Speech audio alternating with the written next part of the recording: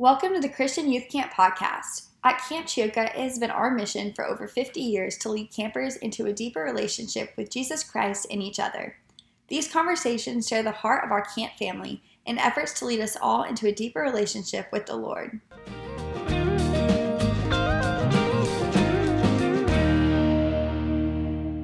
Today, I had the privilege of talking with Ty Touvell, a Louisiana native who began here as a shy camper and is now running our activities team. So he is an advocate of getting out of your comfort zone. I call Ty the silent life of the party because he cares so much more about fostering connections between his campers instead of bringing the attention to himself as a leader.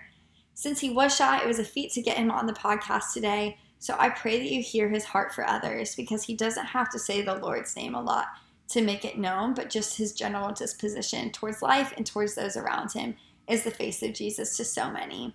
It's about how we live out our lives and not how we talk about them. So I pray that you hear just a glimpse of how Ty lives out his life in this conversation. Ty reminds me that it's not about how we talk about our lives, but how we actually live them out. I have been blessed by his friendship and his ability to just sit and enjoy, but also his ability to plan and intentionally create memories together and bringing people together. He makes new faces feel celebrated, and I pray that this encourages you to celebrate life with someone today.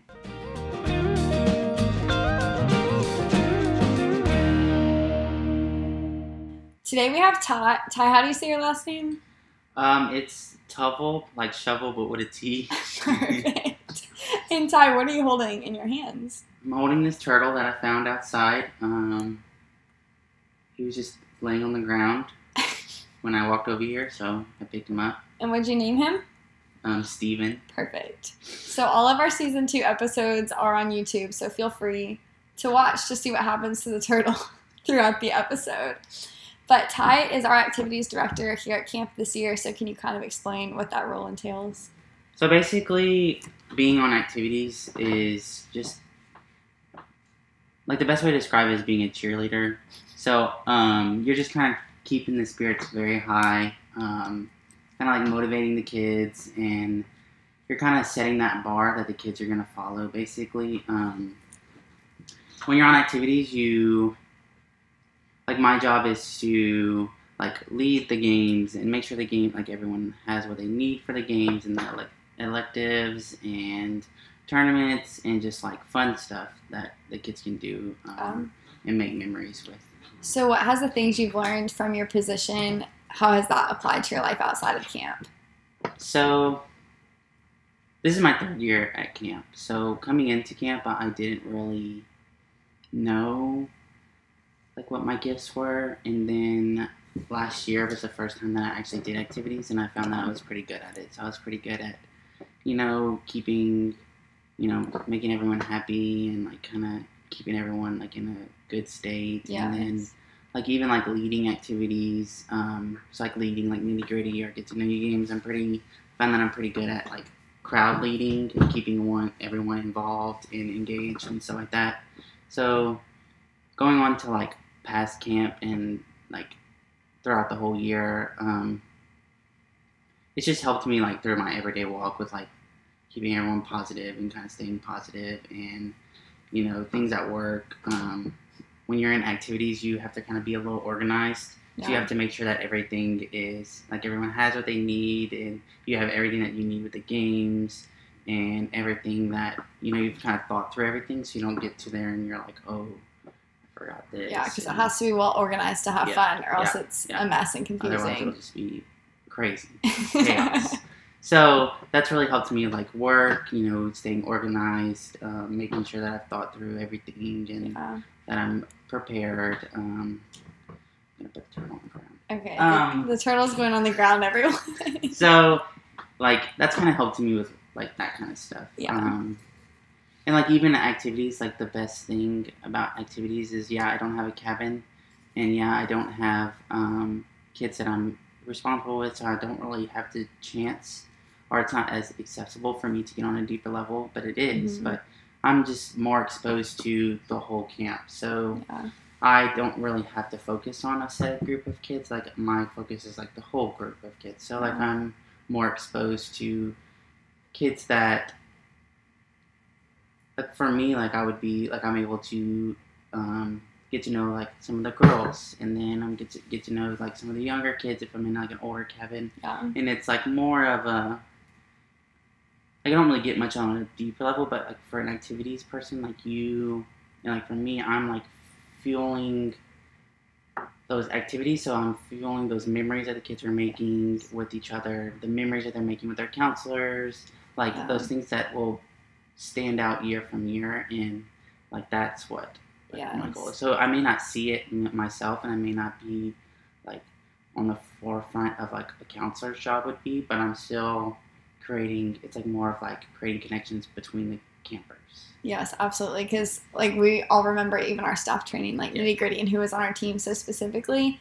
And for a lot of campers that don't care about the spiritual side, Yeah. they're gonna connect with their activities director because they want to have fun. Um, so you're talking about like being organized and planning. Why is that important for a Christian and like just in your walk with God to have some sort of plan? Well, because if you don't really have much of a plan, then like, or like any organization at all, it's really easy to get lost Yeah. and kind of overwhelmed and kind of forget about things and stuff like that. So I feel like it's super important. Like you don't have to be like super planned and like super organized, but like kind of like have like a routine and Yeah. and kind of like something that familiarizes yourself with things, and it's a lot easier to, to keep track of and Yeah. to keep the same routine. Because as we go through the routines, like high school one and high school two and middle school, we get better at the activities Yes, as the routine builds. So in our walk with God. We get better as it You learn builds. from things and stuff. Like Yeah. That. And then as far as just having fun, because we could just do like spiritual activities every night, but why do you think it's important to have fun and to have games and like for fun to be intentional? Well, the spiritual part of camp is like probably one of the most important things. Yeah. But like a lot of kids that come into camp, they're not very like their relationship with God is not that great for like a lot of them mostly. Mhm. And so like they don't want to like for them to come to camp and only do like prayer walks and um, prayer nights and stuff like that, then it will basically like guide them away from camp and not want them to come back because they're not really they didn't really come for that. So the activities is important because like you're putting in that fun and then after that fun you can kind of like grow the relationship with your campers and really like get on that same level as them and then you can bring them up with like the spiritual stuff and they're Yeah. more open to do that stuff. So activities is more of a gateway into the spiritual stuff. Yeah, and I think that's the same mindset that we have towards like non-believers is literally just being their friend and like meeting them where they are. So how have you seen that carry out in the rest of your life? Like the having fun and building a relationship first. and I feel like for me, like I'm not gonna go up to someone and, and instantly it's like someone I don't really know. I'm not gonna instantly start telling them about God. I mean, I Yeah. will, but like not like heavily and like bring them to church and stuff like that. Obviously, I'm gonna get to know them. I'm gonna you know hang out with them for a little bit, like really get them to trust me Yeah. and like be my friend and stuff like that. Because then it's like easier to guide them with you because they'll like see who you are and they'll they'll like want what you what you have. Yeah, and people don't care how much you know until they know how much you care. Yeah. Um, so literally just being a friend, which I see you do so well with everyone around you. Um, and you also said activities is being a cheerleader, and I know that you were a cheerleader Yeah, in too. college. So what does that mean to you? Like the idea of a cheerleader and encourager? So it's really different because like like for me as a cheerleader, I was not the very like energetic person. Yeah. But like whenever I'm doing activities and stuff like that, like the, that's a good mindset to get into because you want to you want to basically cheer on the people you want to like set a level and you want to encourage the kids because like some mornings they're going to come in and they're going to be tired and and some kids are going to go to the activities and they're not going to want to do it or they're going to feel like too like they won't like and they, they'll feel like embarrassed or like Yeah. they'll like won't have any friends and they don't really want to be part of it or they'll just like feel like they're too cool so like showing them that like it's okay to have fun and like really showing them like what like how would you have fun like in a christian way Mhm. and like because once you set a level like the campers are going to mimic what you do and so like if you're like very low like energy then they're gonna not be super high Yeah. energy. They're gonna mimic you. So like, it's important for the activities team and like for me to be super high energy all the time because then that they'll feed off of that. So Yeah. that's kind of like what a cheerleader does is they like encourage the team. So like you want to encourage your campers to have fun. Yeah, and that's part of why it's so important in camp and in the real world to fill ourselves Mm-hmm. because if we're exhausted, how are we supposed Yeah. to be the energy for other people? And we even see it as early as elementary school, kids being too cool or too embarrassed to participate in activities and to have fun. And then if that keeps going by the time they get to high school, nobody will do anything. Um, so just the importance like to be goofy and silly. Yeah. Which you literally let us in Yeah. bingo last night Yeah. and dressed up and let us in line Yeah. dancing. So it's like, like the kids heavily see us as role models. If like, like we may not realize it, but they look up to us. So like Yeah. showing them that it's okay to be silly and be crazy and and just kind of have fun, and that they need to know that that camp is a safe place that you can be who you are and like no worries. And showing them that is a really like it'll stick with them Yeah. I kind of always picture that. And we as adults have to remember that because even we're all quarantined at camp right now. So even just the small group of us here, it's easy to just be like, oh, we'll just hang out, whatever. But Ty's been intentional in making us all do fun things together. And those are the things I'm going to remember. I'm not going to remember sitting in the staff room on my phone. I mean, it's like, like I said, like we could just sit around and just talk and hang out and stuff like that. But like bringing in like a fun game of bingo or doing some kind of like pool party or something like that. That like, yes, we're still hanging out, but it's kind of bringing us all together and we're uh-huh. all making memories together and we're just doing something different than just Yeah. hanging out. It's like sharing experiences together, which is so much of a friendship. So then you're talking about how you get to interact with all campers and not just focus on your cabin, but really like look out and see people. So how has that changed the way you interact with people outside of these walls and trying to see everybody instead of just your own group? So like it's really easy at camp to like go up to a camper and that you probably wouldn't like you like you know like you can see a camper and you're like oh I know I won't relate to that camper like you know they're not the same interest but it's Yeah. like like all you have to do is just just talk to them like ask questions and that's really helped me in like my life like I'll be in the grocery store and I'll see someone that I wouldn't talk to and I would you know say you know like just spark up a little conversation Yeah. nothing crazy but like that sticks with people so that's really helped me in like seeing people as you know all the same all in god's image and and all being loved by god and all being made by god has really helped me to just just love people. And it, it doesn't have to be something crazy. It could just be like a smile or something like that. But i feel like here has helped me get out of my comfort zone of talking to all different kinds of people and stuff like that. So mm-hmm. i feel like carrying on into the real world is a really just Yeah. it's like an extra step. I mean, it's a little harder, but if you just think of it as just like that's just a little camper, then it's not that big of a deal. Yeah, we're all campers Yeah. because I know it's so humbling for me to always remember the people that I am like scared of or avoid are the same people Jesus would be eating with, and like those are the people we're called to be friends with. Um, my roommate plays this game. I don't know if I'll explain it right, but literally whenever she sees someone in public that she just kind of wants to spark up a conversation with, she just asks a question about like whatever the thing they're holding is. Yeah. So she'll be like, "Is that an iPhone?" And they'll be like, "Yeah, like it is." And then they just start talking. They're like, "Is that a banana?" And they just talk about whatever it is, and it leads to a conversation just by like one second of being silly or like bold or whatever. It's just so easy just to go into the grocery store or go into the mall and just just have your headphones in and just walk to what you need. And Yeah. But like whenever you really start to notice what's around you and the people who are around you, you start to notice that those are all like children of God and, and they're all like struggling in some way and like you know just a simple act of kindness or a simple like smile or just like a hey or something like that it really brightens up people's day and you something that you don't really realize. And you may never see it. You may never see that person ever again and it may affect them in a really big way and it may not affect them at all. They may just brush it over but you know you can it's such a little thing that like why why not risk it Yeah, and with 2020 and everyone being in their homes, I think that's something Yeah. that I pray we remember is to acknowledge the people around us at the grocery stores and in the malls and things.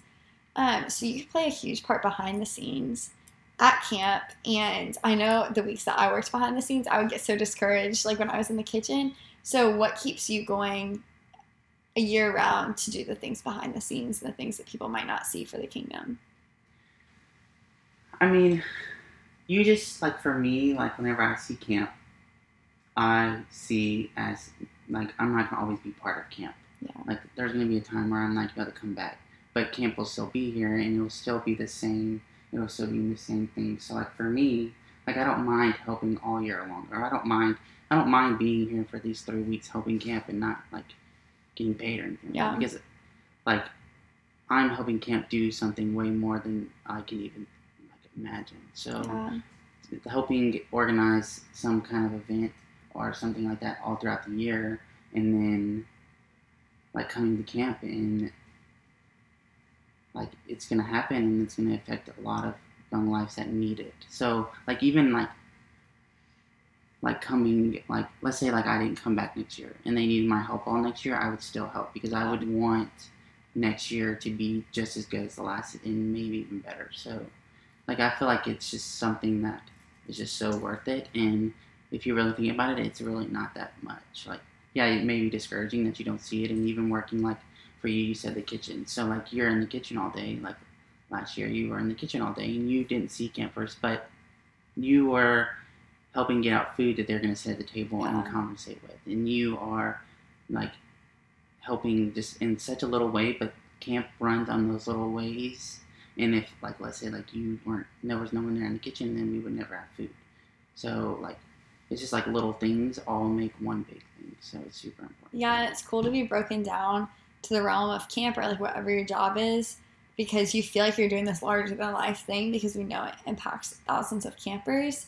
Um, and that's only a small piece of the kingdom. Yeah. And it's like God gives us this visual, and wherever your workplace or your ministry is, and it could be like in a secular workplace, but still you're doing something that's going to feed someone else's ability to encounter God. And it's super hard because like I remember last year whenever I was not a counselor and I was like on activities or maintenance or something like that, I would see like you know the counselors are doing something so big. You know Yeah. they're like heavily impacting the, the kids and they're like right there like connecting and stuff like that.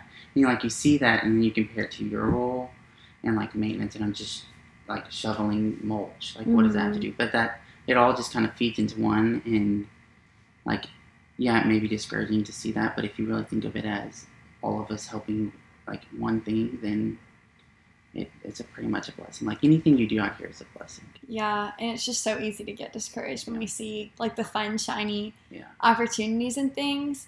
And I know I'm a journalism major, and I'll be writing stories all the time about people doing really cool things. Yeah.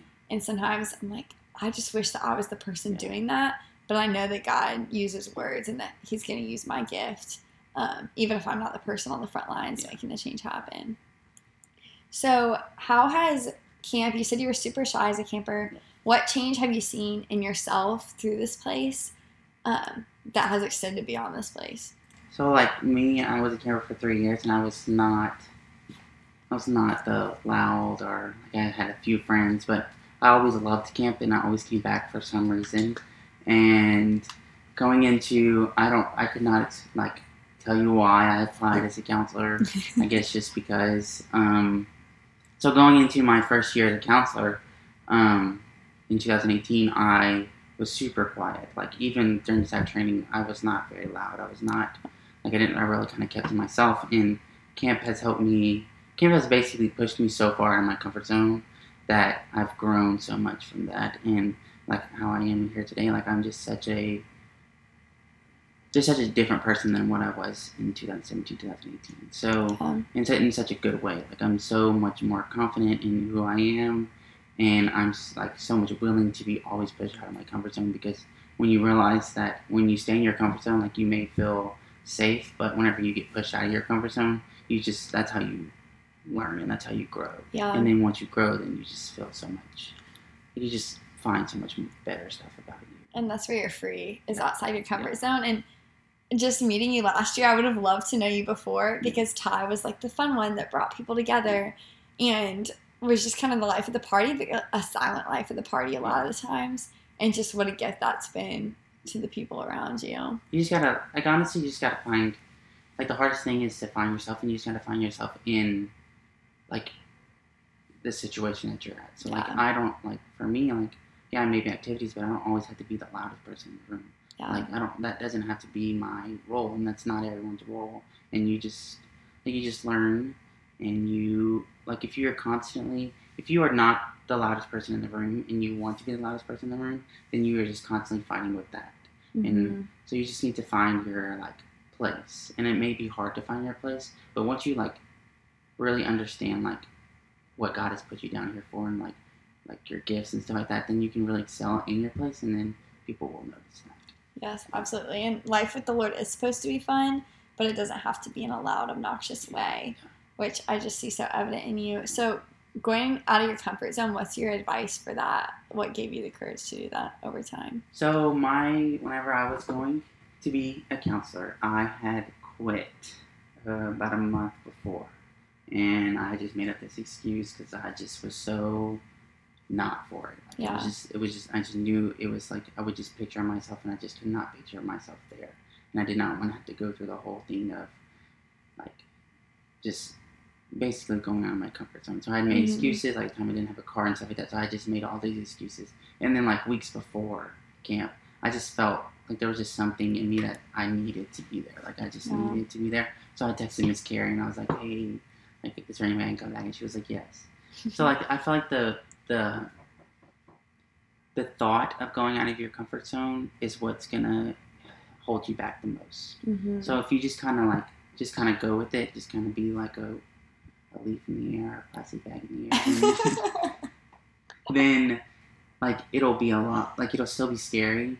But if you just kind of know that, like wh- what you're getting yourself into, and you, you, it's okay to fail. Like it's okay Yeah. to do something and fail at it. Like you just learn from that. And like especially here at camp, like I could do something and then like I could do an activity and it could not go good, and like I'm not gonna get criticism from here. Like I'll just like I can ask people around here like, how would that be better? And I still do that. Like during staff training, Yeah. we did all those activities, and after the activities, I would ask people. I said, "Is there anything that needs to be changed?" Because once you, like, once you, you just really need to just push yourself out of there, and then just know that, like, you just have to find people that will be there to support you, and just, and once you're around there, then you can literally do anything. Growth is absolutely partnered with going out of your comfort zone if you want to improve and get better. And we have to be able to laugh at ourselves because I just think God thinks it's ridiculous when we take ourselves so seriously, like in the grand scheme of who we are. And it's so easy to get down if, like, you do something dumb or you say something and, like, no one responds. But that's literally a moment in eternity. Yeah.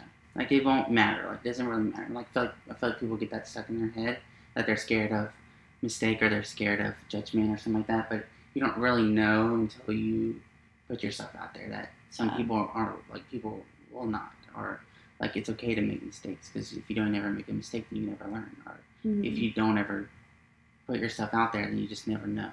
Yeah. So I like my biggest thing is that the worst thing someone could say is no or Yeah. something like that. And that's feel like that's something that I always have to remind myself. Like I'm not, I'm not saying that I'm just like great at it. Like I always have to remind myself, and I still get to those points where, like, I'm scared to do that, or like it, like I'll get in my head and I'm saying, oh no, that's stupid. Like, Yeah. even- but you just have to just constantly pray about it and and just know that it's okay sometimes. Yeah, I think a lot of times the thought of something happening is way Yeah, worse than it actually happening. And it's cool because you inspire me in that, and that you're about to move to Orlando and you haven't been there before. Um, college is doing, or Ty is, excuse me, Ty is doing the Disney College program. I'll be moving to Orlando in August, and I don't have any. I don't know. People keep asking me how I feel about it, and I'm like, I don't know. Like I just, like I don't know what to expect, and I'm, like, yes, I'm kind of nervous, but at the same time, I'm super excited for this new opportunity. Yeah. And like the worst thing I could do is move down there, and then I don't like it, and I'll just come home, or I'll figure something out. Yeah. And that's all I can do, and I'll like I'll never know. Like it could be awesome, or it could be not the greatest like we'll just i'm just gonna like i said this is just a comfort zone thing and i'm just gonna jump out there and learn from it yeah, and it's cool because what you do at camp, you're about to do on such a larger scale. It's like God's been preparing you that you're not going to get to go deep with these people, and you're not going to get to walk alongside them for long periods of time, but you're going to see thousands and thousands and thousands of people yeah every day crazy to love in the one moment that you get to. and like I may not be out there. Like I may not be out there spreading God's word. Like I'm not Yeah. gonna be asking them like about their past and like trying to help them do that or being there. But I'm still gonna be like at Disney. I'm still gonna be a light in just a lot more like reserved way, and that's okay because they'll still see. Like I still want them to be able to see God in me and me as a Christian, and they should be able to. And like, it, it may impact them, like I said, a little bit. It may impact them a lot, and they may ask me, and they may not. But you know, you never know until you get there. But I just gotta try and just hope. Yeah, it's the seeds for the kingdom Yeah. at the Magic Kingdom. yeah. And we keep joking. I'm from Orlando, so Ty is going to be with my family for the holidays Yeah. this year, which is so fun. Um, but last two questions is what would you go back and tell yourself before ever coming to camp? like looking back, I see all the campers that come through camp and they just are just so funny and, and they're just so crazy and they just don't care and stuff like that. So like if I were to go back to me whenever I came here in 2015, then I would say just to you know talk to more people and and like make the most of things because I feel like a lot of times I would just rush through stuff. Yeah. Like I would just be like, oh, I don't want to do this. So I would just. But now looking back and being here as a camp counselor and like experiencing those activities for real and like being behind them and like even whenever I was a counselor, like I would be part of them and now like I'm helping them out. Like I wish that I could go back as a camper and like really take advantage So of the electives and stuff like that. Yeah. And then, so it's months from now, and you're off the camp high, and you're like missing your people. You don't feel as connected to the Lord. Like, what do you want to tell yourself then in the spiritual place that you are right now? So what's the coolest thing about like the coolest thing about working at camp is that although like I may spend like two months with like these people and like some people I may never see again, I just know that I can always call them. Yeah. and they are always there and they can always call me. And like this is like you make lifelong friends here because you've just ex- like experienced so much together and you've just grown so much together. And you've just helped so many kids and and all that stuff. So like i just know that let's say in december i'm going through a hard spot that i can call meagan or i can call rachel or i can call like any of these people Yeah. and they'll be there and they'll be able to help me. And even some of them like like some people like they'll text me like just randomly. They'll be like hey how are you doing? And stuff like that. So i just know that that that I that you're always there and i just hope that i can realize that because sometimes i don't realize that because sometimes i go through things and i just kind of keep it to myself. So i hope that i can like realize that these people are here for me and god's there for me and, and stuff like that so Yes, it's so easy to isolate ourselves, and that's Yes. when we go back to every job is a ministry. Like people that make cell phones, there are lots of evils Yeah. of cell phones, but just what a gift they are to us and our camp families. But I'll pray us out.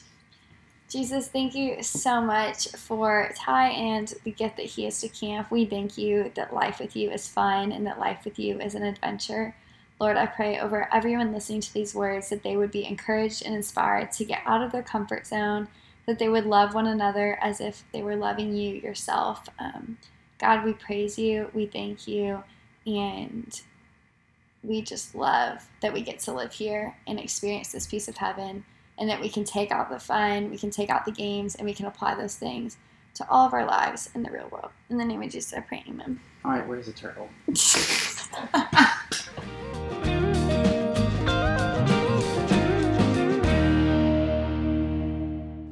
Thank y'all so much for listening. Since the kingdom is not built in the media room, it is our hope that you take these ideas into real life conversations with friends, family, and the Lord. Be sure to find us anywhere you can scroll at Camp Ch-Yo-Ca and live knowing that you are loved.